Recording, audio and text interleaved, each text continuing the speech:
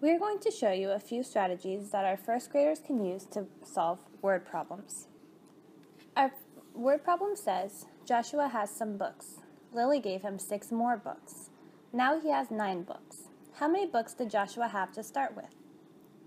Our first strategy is going to be using a ten frame. The students will take six red dots and will place them in order starting at the top left corner. From here, the students will grab the blue dots and fill in the remaining spaces until they re reach the number 9, which is the total number of books that Joshua has at the end of the problem. The students are able to check their work by labeling first the red dots, 1 through 6,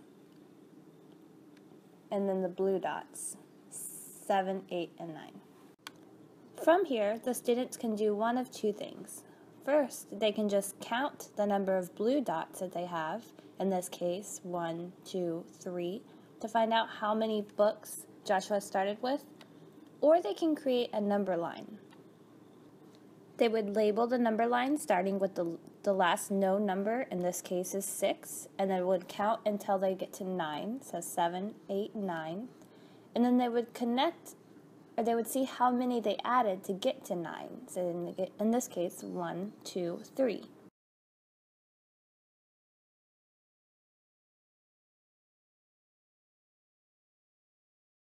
At this point in the problem, the students are able to write their number sentence.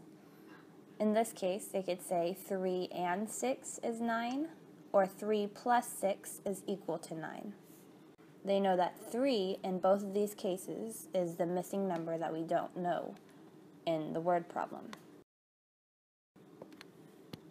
Another strategy we use is called the number bond. For this, we draw one big circle that is connected to two smaller circles that branch out at the bottom. The bigger circle represents the whole, and the smaller circles represent different, the different parts in the problem.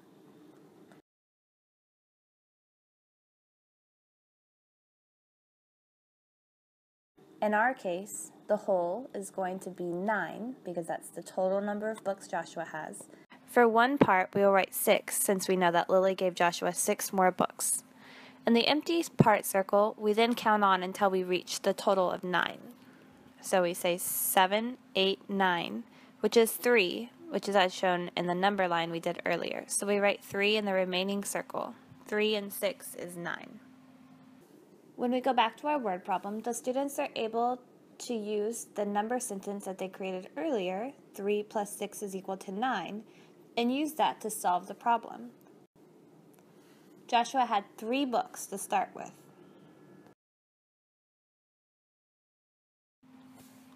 For more student math strategy videos, check out our UH Math Education channel.